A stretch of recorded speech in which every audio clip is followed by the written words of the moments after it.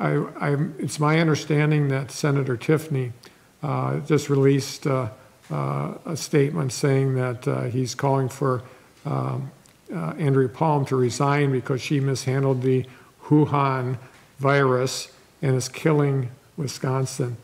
Uh, Senator Tiffany, please, you just won an election. Just relax.